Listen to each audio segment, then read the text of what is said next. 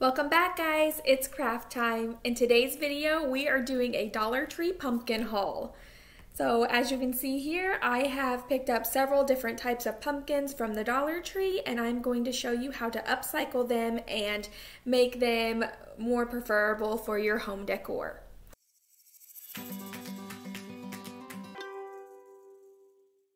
We're going to begin with the glittery smaller pumpkins down here. To begin with any of their signs or plaques that have glitter on them, you're going to want to scrape the glitter off. Some people say to just sand it, which is fine, but it's a lot more messy if you do it that way. So I like to just use this paint scraper to scrape the glitter off of it. And then once it's done with that step, dump the glitter in the trash and then go ahead and do my sanding. I also am going to be removing the ribbons that are already placed on here. I am just not a fan of these ribbons. I think they look cheaply made and the whole point of flipping these items is to make them look like they did not come from the Dollar Tree. So I'm going to do this with all four of these pumpkins and then I'm going to take two of them, one of each color, and remove the stems. Now, the stems are in there pretty good. They're just hot glued in, so you can get them out. However, you do need to kind of wiggle it around a little bit. What I did was push my thumb um, in every direction on it and then wiggled it and then it popped out. Some are easier to come out than others, but just give it a little muscle and you shouldn't have a problem. And then you only want to do this for one color each. After this, I turned it over and removed the stickers from the back. You want to make sure that it's nice and clean on both sides because you're going to be using the entire block. It's not just going to be a forward facing um, pumpkin. It's going to be a 3D pumpkin by time we are done with it. Now, the two blocks that you have removed, excuse me, that you have removed the stem from, you're going to measure the midway point and then get yourself a good guideline because you are going to cut it in half.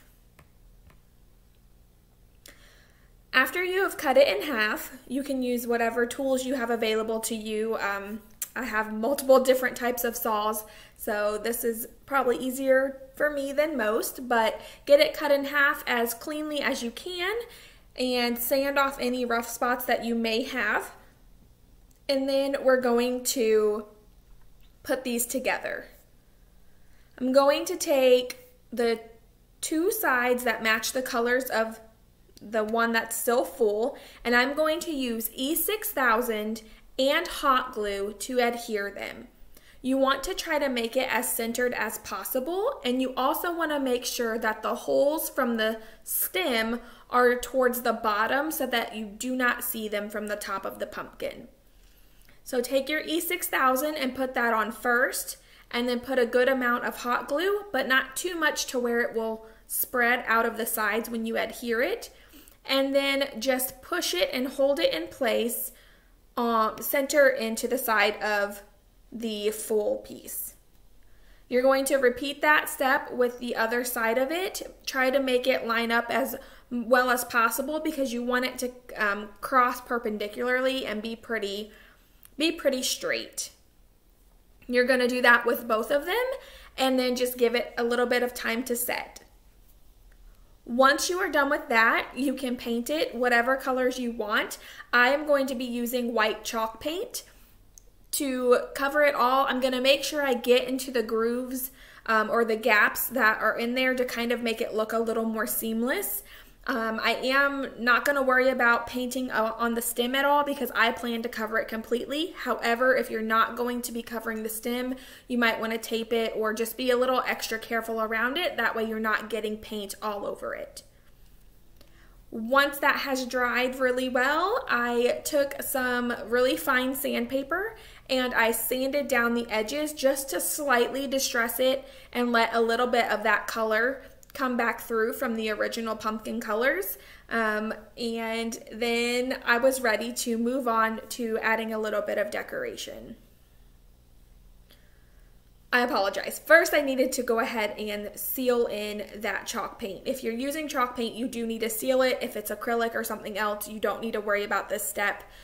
Um, chalk paint has to be sealed. I did this using some clear wax from Waverly. You just put it on a good rag or paper towel, something that's not going to leave um, fibers behind, and you just wipe it on and then you wipe any excess off. It gives it a really nice smooth finish and fills takes away all the chalky feel to it and makes it look really nice.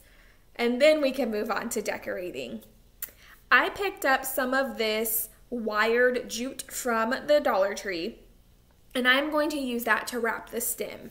Now I'm going to take like three or four inches of it and twist it around my finger to give it a good curl. And then I'm going to place it and hot glue it at the base of the stem and then run a line of hot glue up the stem and completely wrap it all the way to the top. Cover the entire top and then wrap it a little bit back down and then curl the other side. This should be nice and secured by time you're done and it'll have these cute little ringlet curls to go with it and you can leave it and stop here. You can add more floral, you can add um, some greenery, whatever that you want to. I happen to have some of these wired like little red beads or berries, I guess, um, that I'm going to add to this. I did not get them from Dollar Tree. However, I do know they sell them. So if you are lucky enough to find those, grab you some and you can do the same. Um, I just did the same thing. I hot glued them around, just the base of it, and then twisted them to where they stay on, and then twisted it around my finger and called it a day. I think these turned out super cute. I don't think that you can tell you know, that this is a Dollar Tree buy, and I hope that you guys can give it a try. If you do, let me know. Um, I hope you guys enjoyed this craft, and now we can move on to the next one.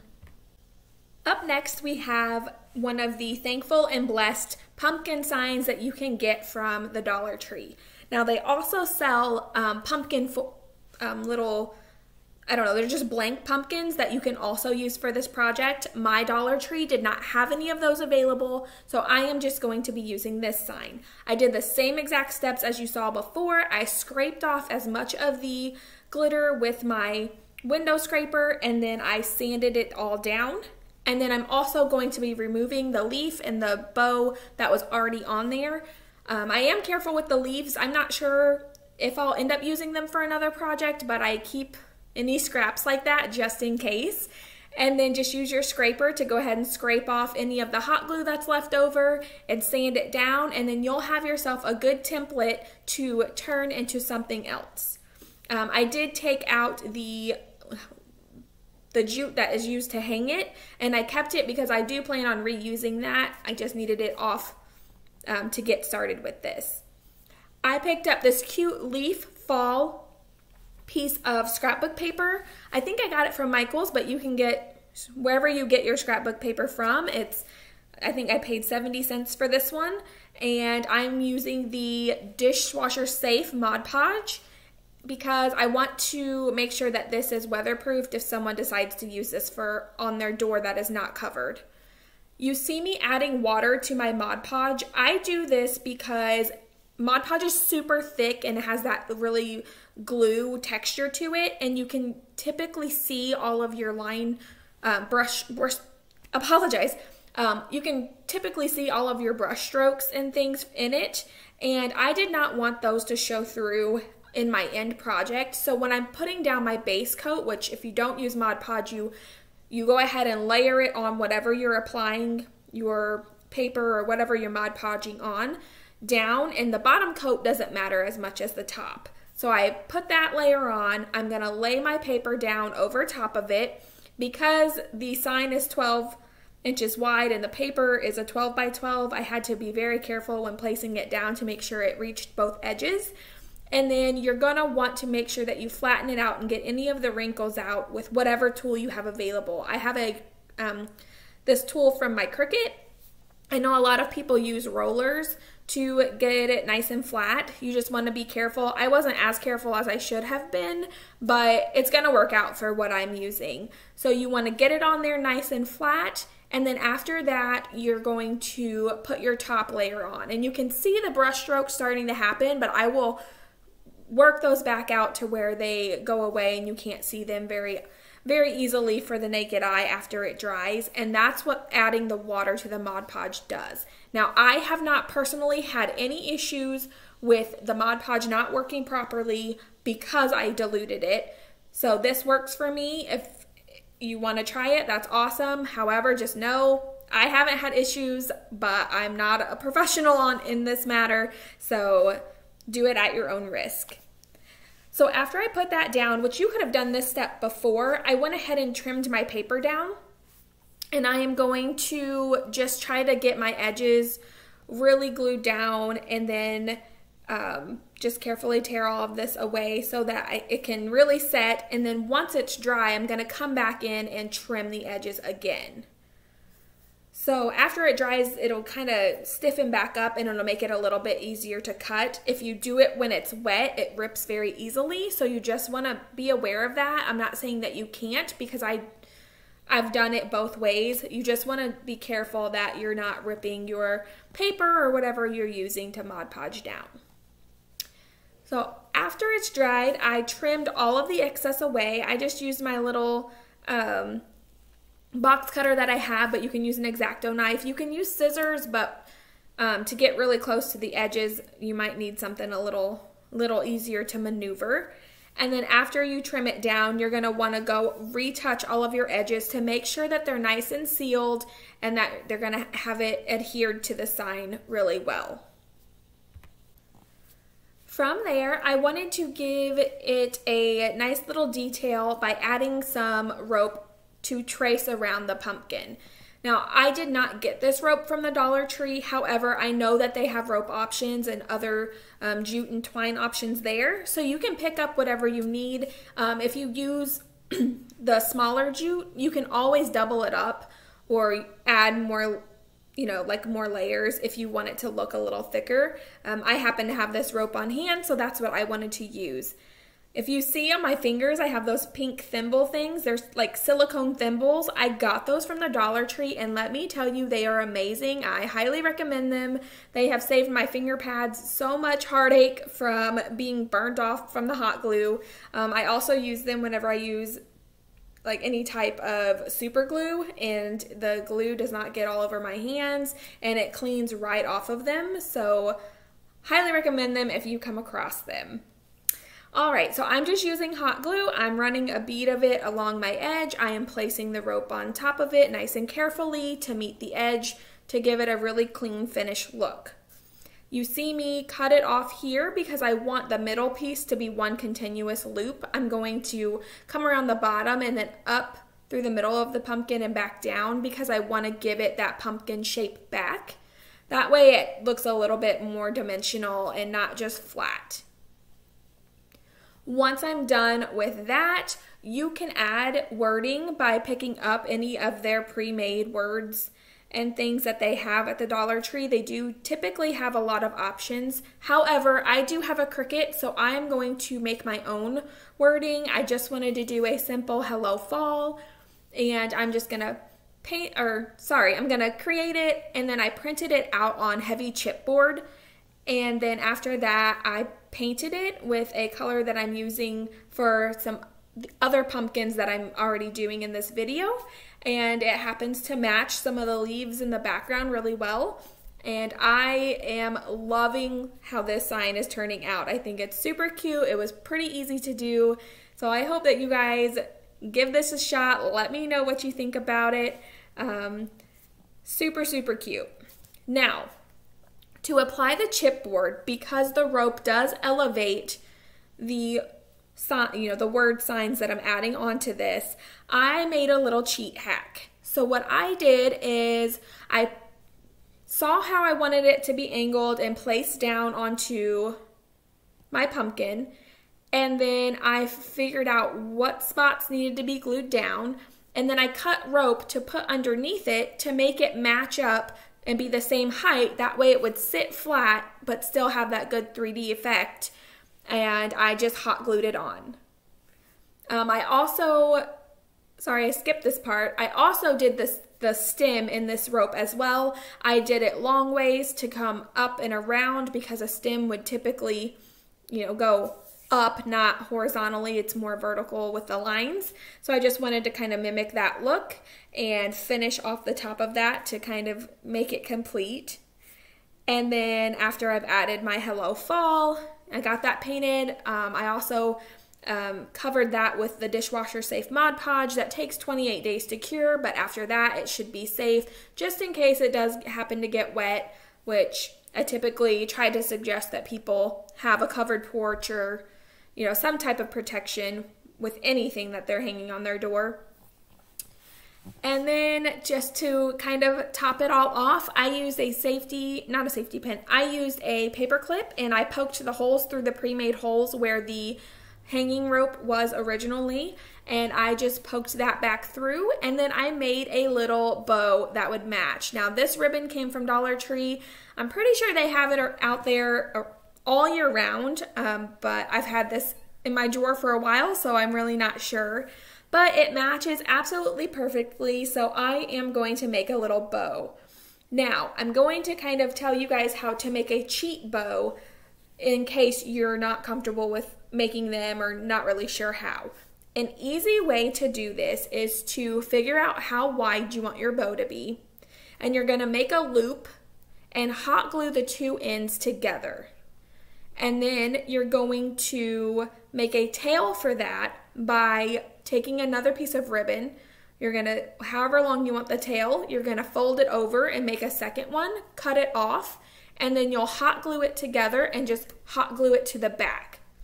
Now you'll have a loop and a little um, like tails coming off, and you need to kind of make it together and cinch the middle down to give it that bow look.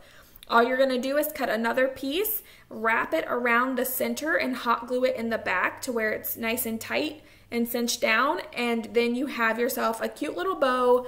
It takes no time at all and it's a really easy hack on how to make a cute bow without having to do anything fancy or, you know, moving your fingers around a certain way and hold your breath so it doesn't come undone. Um, so yeah, I love the way this door hanger came out. Let me know in the comments how you feel about it. And let's move on to the next ones. All right, I picked these pumpkins up from the Dollar Tree as well, obviously, and I did not care about the letters on the front because I knew I wanted to paint them and make something my own. So I went ahead again and removed the ribbons and the stickers from these. Um, there was no hot glue or anything really left on them, so they were primed and ready to go, and I'm going to paint them up. My plan is to make little groupings of pumpkins and just kind of spice them up a little bit and make them really cute self-sitters or, sorry, shelf sitters or like tiered tray decorations. And I'm going to be using chalk paint. Surprise, surprise. I have three different colors I want to use. One is by Folk Art and it's called Sage and it's just this really pretty green. The other is the white chalk paint that I've been using and then the third is just a dark gray um, color as well. And I'm just going to paint these up. I did do multiple coats because I wanted to cover those letters really well. I do apologize about the camera angle. I must have bumped my stand and I was so into the project I didn't notice. But that's okay. You can still see what I'm doing. I believe it took three coats just for good measure to cover these pumpkins completely. Um, to really make those letters go away, you could, you know, on the ones with the black letters, you could paint the entire pumpkin black just to have a complete base. Um, and then vice versa with the ones with the white letters, you could paint it all white just so it all blends together. I'm not worried about it, so I'm just going in and starting. You'll see that I am watering down my chalk paint just a little bit. I only do this to kind of make it slide and adhere um, really well. It just gives it, you know, less brush strokes and look a little more complete. Um, it's not as thick, so it doesn't cover as much. I could probably get away with two coats with it just at full force. But again, I like the way it paints on when it's got that little bit of water in there to help it move around and spread. So I get these all painted up And then we're going to sand them down very, very lightly. I just want just the, the smallest amount of distress on these pumpkins. I'm using a very fine grit piece of sandpaper and I'm just going to hit all those edges and the fronts of them just to smooth them out. Let that texture and detail from the pumpkins come through, but without taking it back down to where you can see a lot of those base colors or the letters on the front. Once that part is done, I'm going to kind of lay them out and figure out how I want them to look once they're attached, like how I want the bundle to look. And then I'm going to be using E6000 and hot glue once again to adhere them to each other. I apologize. I also did do a white wax on these. Um, the Waverly white wax is actually more of a cream color, which is fine because that's I feel like more fall than a bright white. So I just take that and I brush it on with a, it's actually a stencil brush, but it can be used as a wax brush. And then you just want to wipe off any of the excess. Now, the longer you let the wax sit on your item, the more it will stay and it just gives different effects. For this, I wiped it off immediately because I just wanted it to dull those colors a little bit, kind of get in the grooves, but not necessarily stick to the entire item. So again, I just brush it on and then I take my rag and I wipe it back off. It just gives it a muted look to it. It gets down in those grooves a little bit and I think it turned out super cute. And originally I was going to use the clear wax on the white pumpkins. However, with it being fall, I decided I didn't want that bright white, so I went ahead and hit those with the white wax as well. It turned them this pretty cream color, which I think is perfect and matches these other colors very well so that we could move on. Now, I didn't show it in the video, but I always paint the backs of my, well, not always. If the back looks good and professional, I'll leave it. However, the backs of these I went ahead and painted them the same color because you know, some of them are orange, some of them are white. I wanted it to match and look like it was done professionally. So I painted the back of them as well and went ahead and waxed them and the bottom. This is optional, obviously. However, I do believe taking these extra steps will make you stand out in the crowd, um, show that you care and that you look at the entire project and all of the detail. Um, again, the whole point is to make it look like it did not come from Dollar Tree, and the more effort and details you put into it, the better it will look. So, moving forward, I digress. Um, just going to wax it all, wipe it all off, and then um, apply them together. And then to add my little detail to it, I just have some jute from the Dollar Tree. You can get the rolls of it. I have that that I'm just going to hot glue around. So I just put a bead of hot glue on, I wrapped it around, and then after the hot glue was set, I tied a little knot and I just left the strings kind of however they landed. I didn't tie them in a bow or anything. I just let them be a little more whimsical. And then I also attached a couple eucalyptus leaves that I have. Um, I picked this up from Walmart a while ago. You can use any greenery or florals that you have. Uh, make it your own. That's the fun part about DIYs is that you can make it fit whatever your style is. So I just put a bead of hot glue on the eucalyptus, put that down, wrap the twine around, tied that on, and just let it be what it was going to be. I think they turned out super cute and super natural and neutral and will look good on anybody's shelf. So again, in the comments, let me know how you feel about this one. Is it something that you'll give a try? Is there something you would have done differently? I love to hear from you guys. So we can go ahead and move forward. So if you were paying attention at the beginning, I had two little styrofoam pumpkins sitting in the picture as well.